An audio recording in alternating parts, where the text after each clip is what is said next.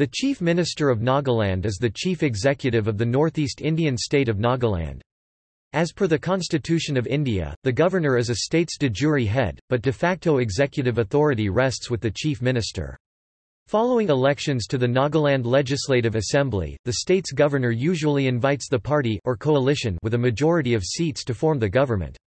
The governor appoints the chief minister, whose council of ministers are collectively responsible to the assembly.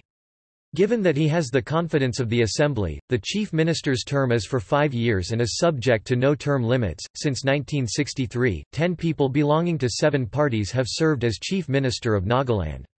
The first three belong to the Naga Nationalist Organization, including the inaugural officeholder P. Shilu Ao. The current incumbent is Neiphiu Rio of the Nationalist Democratic Progressive Party, in office since 8 March 2018.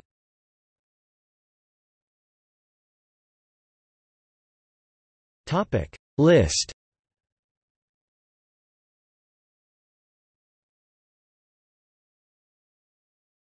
Topic. Notes. Footnotes. References. Topic. External links.